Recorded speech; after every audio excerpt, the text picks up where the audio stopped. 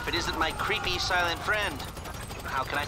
I take it this isn't purely a social call. Of course not. You're in trouble and you need my help. No problem.